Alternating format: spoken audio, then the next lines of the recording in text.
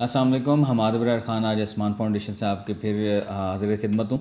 Basic दो point पे आज डिस्कशन करना थी। एक तो ये कि हम लोग जो काम कर रहे हैं, वो पिंडी इस्लामाबाद में काम कर रहे हैं। तो क्योंकि मुझे बहुत सी कॉल्स रिसीव हो रही हैं कराची से, इसके अलावा लाहौर से, पेशावर से। तो उन लोगों से सबसे मैं माजरत हुआ हूँ कि हम लोग वहाँ पे, क्योंकि अभी पिंडी को ही हम पूरा नहीं कर पा रहे हैं तो हम लोग वहाँ पे एक्टिव नहीं हैं अभी।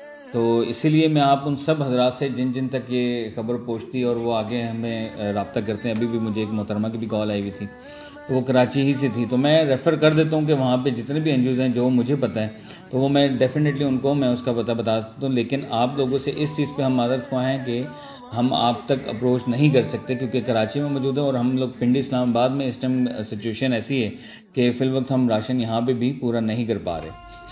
तो सेकेंडली जो बात मैं करना चाह रहा हूँ वो ये है कि जिन जिन हजरात ने एक तो हमारे साथ ताउन किया, उन सब का बेहद मशहूर हूँ।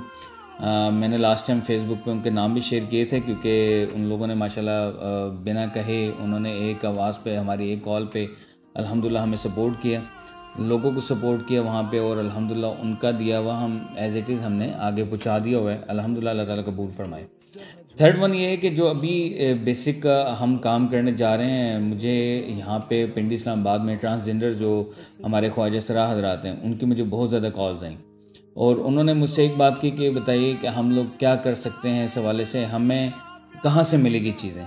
तो अभी जो हम लोग राशन इकट्ठा करेंगे, ये इन जो भी हम डिस्ट्रीब्यूशन जाएगी तो उसमें मेरी ज़्यादा अप्रोच जो रहेगी, वो इन्हीं ख्वाजा हजरा हजरात हैं, जो कि डिफरेंट एरियाज़ में मौजूद हैं। इन हम उन तक अप्रोच करेंगे।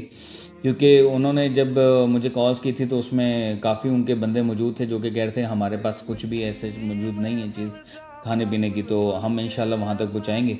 आप लोगों से मज़ीद इन क्योंकि अपील भी है कि आप इसमें पार्टिसिपेट करें, ताकि हम ज़्यादा से ज़्यादा इन जो हम मुस्तक हजरात हैं, हम उन तक पहुँच सकें। Thank you very much